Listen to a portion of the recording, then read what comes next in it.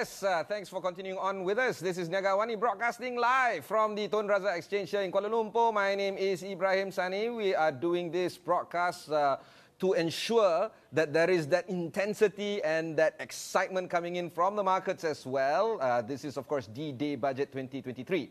Uh, as at 9.47 a.m. or thereof, uh, the KLCI has shed five points to 1,415 points.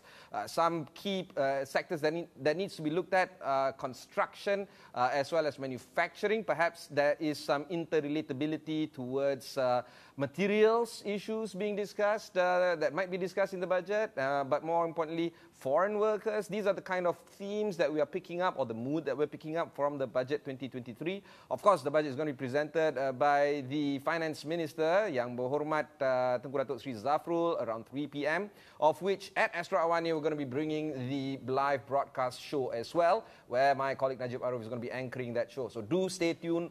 All this and more on Astro Awani throughout the day. Uh, and of course, 3 p.m. is the time that you need to really sit down in front of TV and find out more. Now, for today, for this morning, we've had our conversations with Azmi very recently, uh, the CEO of InvestKL. We've also had uh, Zafri Zulkifli of MIDF, and uh, of course, Wan Dazrik uh, as well. Now, today, we shall shift our focus to my friend, Aaron Sarma. Aaron, one of the reasons why we wanted to bring you in is because you are less optimistic than the three speakers before this. Ooh. Yes. Not ooh, you're, really. you're setting the stage for no, no, yeah, I'm setting the stage. How pessimistic are you for Malaysia for 2023? So I think it's going to be a tough year ahead, uh, mostly because of the global market. You have right? delivered the yeah. goods, brother. Yeah, yes, there okay, you go. So year. I've done the job. Right? tadi itu semua very good. Yeah, okay, yeah. So I, I think it'll be a tough year ahead because I think there's a lot of uncertainty, not just in Malaysia but globally, right, with the global economy.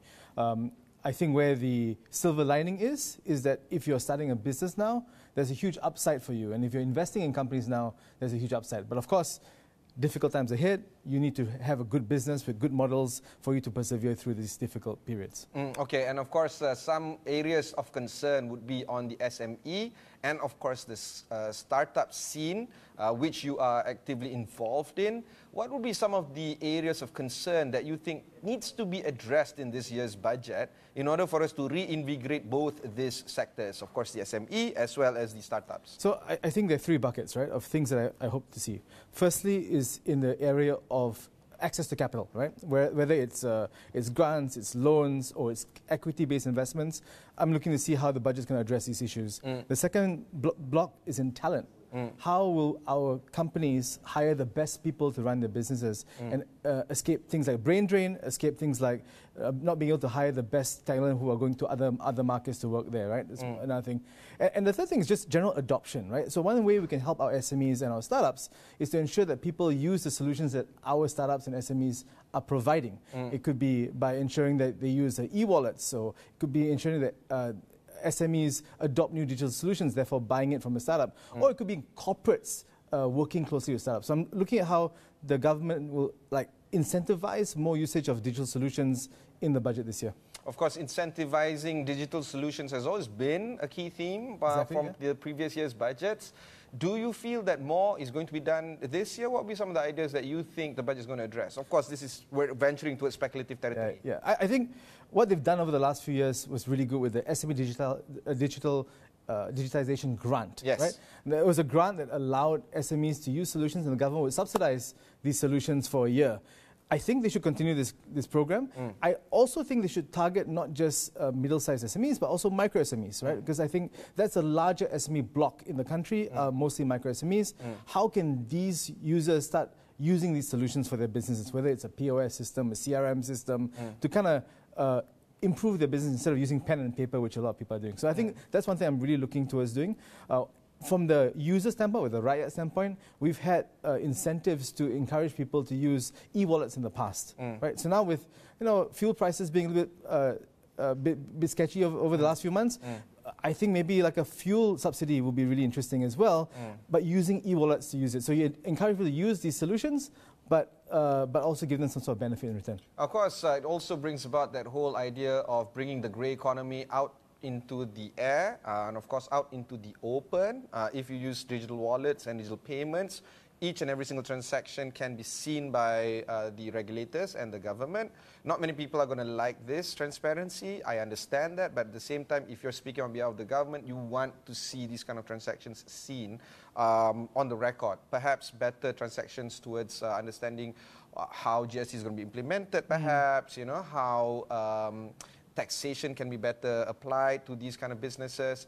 Um, but at the same time, while we talk about subsidies and while we talk about the idea of how um, many of these uh, cost of livings need to be managed, a lot of conversation needs to also be had on how the government is going to fund these kind mm. of uh, subsidies.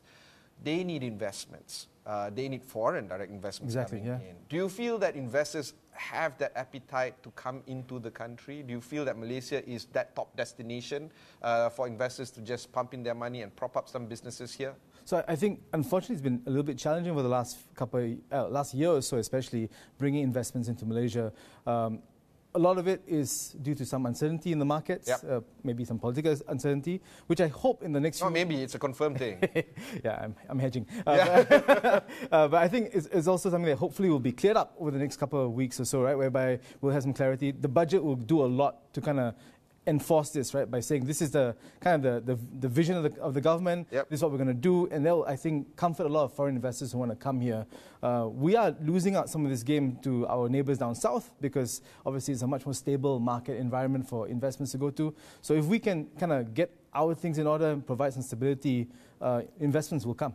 All right, of course, uh, one more thing that we need to explore is in terms of uh, mobility. I'm talking about Malaysians trying to uh, have the ability to work abroad, but more importantly, more workers coming to Malaysia. Mm-hmm. Or not just talking about the construction sector and the manufacturing sector and all the other stuff. I'm talking about high skilled knowledge kind of workers. It has always been an issue for them to come to Malaysia. There's a lot of work permits, a lot of obstacles and hurdles that mm. need to overcome. Do you feel that this needs to be addressed in this particular budget where, you know, trying to make mobility a little bit easier for knowledge workers to come here and work here? I don't know if it needs to be in the budget itself because there are already policies to do this, right? If anything, it should be easier for people to bring in talents, right? So what one complaint we hear from the, a lot of the companies we work with, and we've invested in 30 companies over the last two and a half years, mm. uh, is that it's very difficult to get these things over the line. Maybe it's a, uh, a lot of red tape, or mm. maybe it's a lot of process, and what happens is they tend to give up if it's too difficult, right? Mm. So maybe allowing them uh, a clearer path to bring in talent is really important. Mm. Also, making it really attractive for the talent to come here is important. So I think there are some initiatives that we can do to really make it kind of more comfortable for people to, to come over, some sort of investments, some sort of, some sort of like benefits if you come to, to Malaysia, or maybe get cheaper housing, that sort of thing will actually be much better for, foreign, for foreigners to come and work here. I mean, we can only sell our food for so long, right? Yeah. Uh, you know, uh, but I think ultimately it's about stability, about having a good career here and having good companies here. That's why people will come to Malaysia and work here. Okay, now outside of the budget, we need to ask you about some of the current trends and current developments that is seen here in Malaysia, some sectors that might see worth uh, in terms of investment. I'm tapping into your uh, ScaleUp Malaysia kind of role. Mm-hmm. Uh, where do you see growth areas would be? But more importantly, where do you see the long-term um, in, uh, uh, areas of uh, uh, concern should be? Is it sustainability? Is it green agenda? Is it um, harnessing, uh, you know, renewables energy? Mm-hmm. What is immediate that needs to be attended to? What is the long-term areas of concern that you think we should address eventually? So I, I think in terms of like immediate like opportunities, right? I'm a big fan of agriculture technology, or agri-tech as they call it. Uh, Malaysia has traditionally been a very much an agriculture country. Yeah. Uh, right? So innovations around this space would be very interesting. And more so than just innovations, it's adoption. Because we've got a lot of agencies and a lot of uh, government kind of GLC type bodies yep. who are kind of maybe not really into the forefront of the technologies, but to really work with startups to kind of bring these technologies into the processes, maybe efficiency in farming, uh, worker productivity, that kind of thing. So I think agriculture is a huge thing. Uh, a few months ago, we saw the announcement of these um, five digital bank licenses, yep. uh, the, which is, I think is really exciting. Yep. But I'm looking at all the startups and entrepreneurs that will build solutions around these digital banks. Yeah. Because they're going to need technology, right? So that's what we're really looking into. On the clean tech side, it's something that I've lamented for a while. I think Sorry, it's clean tech now. Clean tech or green? I don't know. It, it changes. Clean right? tech. Yeah, let's call it. Let's roll. Tech. Let's roll with yeah, it. Yes. Clean tech. Uh, I, I am very concerned because we don't see a lot of this kind of innovation uh, with young startups. You know, I, a few months ago, I think uh, I, I tweeted like, you know, any clean tech startups out there, right? And we got lots of likes on that tweet, but hardly anyone wrote in to say, hey, I've got a clean tech solution.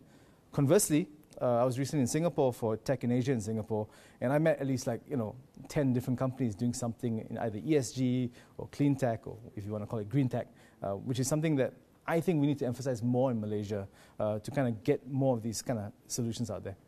Know, I think the reason could be because in order for you to invest in clean tech, you're looking at a long-term horizon, longer term at least. Mm-hmm. Uh, you're looking at a lot of money poured True. into this. And perhaps VCs and other investors might not necessarily have that kind of appetite to wait it out. And the other is that, thing, is that uh, like a maybe not have? really. I think a lot of VCs are looking for solutions, and, and I know quite a number of investors in Malaysia, outside Malaysia, who are looking for clean tech solutions, okay. even from Malaysian entrepreneurs. Okay. But I do think it's a bit challenging to do like a clean energy company in Malaysia okay. because we subsidize all this stuff. So petrol is cheap, electricity is cheap. Yeah. So if I were to create a solar company, yeah. the commercials, I mean, and there are some good solar companies in Malaysia, uh, the commercials maybe aren't as attractive as it would be in a country where uh, electricity ex- is expensive, yeah. right? So we're seeing this in the West, yeah. where electricity is getting really expensive, and yeah. everybody's now going EV this, EV that, right? Um, and they're also trying to look for alternative sources of energy. Yeah. But in Malaysia, we are kind of maybe spoiled because these things are subsidized. So, uh, in a way, we're victims of our own success in this regard. Yeah. That people don't feel the need to build these solutions here. So there's a lot of solutions that needs to be built. There's also an ability for us to learn more about this. Yes. Of course, Aaron, it's always a pleasure talking to you. I'll be discussing with Aaron again on my show Notepad tomorrow night uh, at 10.30 p.m. or is it 10 p.m. tomorrow night, uh, talking about the items post-budget. Of course, that's going to happen only after we know what's going to happen next. Uh, but of course, for now, uh, some of the items that we, are we have been discussing will continue to be discussed uh, the entire day on Astro Awani. Uh, my personal areas of um, interest would be on how we are going to fund our 80 billion ringgit um, uh, subsidy could be 100 billion ringgit by the, the, end of the year. Another area of concern that I would like to look at is on dividends payment by Petronas and other uh, GLCs to the government and taxation. How are we going to improve on this very narrow, very narrow tax base? Um, and some of these items have been discussed on my show notepad. I've been discussing it with uh, Deloitte, uh, with Ernst & Young, um, and uh, next week uh, we're going to be discussing this with KPMG and a lot more. So taxation is a big issue that needs to be looked at. So how is the government going to fund this budget? Not how much the government is going to spend this budget. Spending is fun, right? Getting the money to spend, that's the hard work. So all this and more at 3 p.m. today. Stay tuned the entire day on Astro Awani because the conversation is going to go on towards the evening as well. For now, this is me, Ibrahim Sani, signing off, as well as from my early colleague uh, Najib Aruf uh, from the Tun Razak Exchange. Do stay tuned with Astro Awani. Badai COVID-19 meninggalkan impak luar biasa. Bagaimana bajet 2023 meneruskan momentum pemulihan negara? Tatkala kos sara hidup meningkat, cabaran ekonomi global. Apa yang ada dalam bajet kali ini untuk membina semula daya ketahanan negara dan memangkin pembaharuan? Pasca pandemik, bagaimana bajet kali ini akan membantu Malaysia untuk bangkit semula? Adakah terjawab persoalan demi persoalan tentang harapan kita? Kami bawakan wakil pelbagai kaum, pelbagai industri Saksikan liputan istimewa Bajet 2023 Jumaat 7 Oktober ini bermula 3 petang hanya di Astro Awani.